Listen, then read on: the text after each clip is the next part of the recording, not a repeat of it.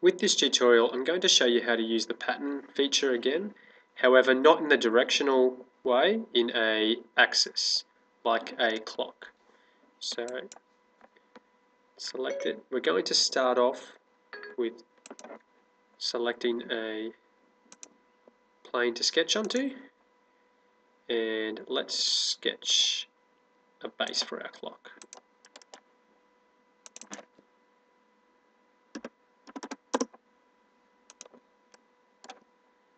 And extrude that. Happy with that. And accept that. Okay, so we have a base for our clock. Now we just need to put in a um, an identification for each of these, for each of the hour hands. So we're going to sketch onto that surface. Okay, we'll just do a marker there for a circle.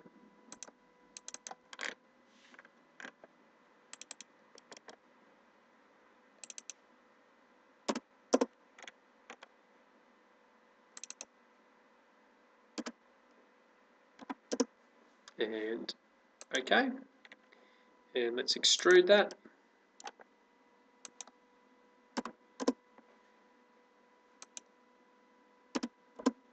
And okay.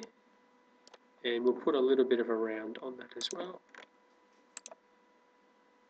Maybe make it a little bit bigger like that okay so what we're going to do is we want to pattern that all the way around that circle, the edge of that circle, that plate there. So same thing, make sure you have all of the feature highlighted.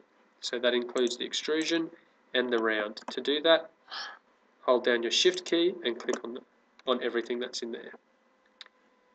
We now go into pattern, geometry pattern, in our top left-hand drop-down, we're going to select axis, okay, and so it wants us to select an axis of which we are rotating that part to be rotated, uh, to be patterned. So here is the axis we want. Now you'll see four other members have come up there. We can make that 12 for the 12 hours on the clock and 360 divided by 12 is 30. So that will make that evenly spread out. And select OK. And that is how you pattern in a circular formation.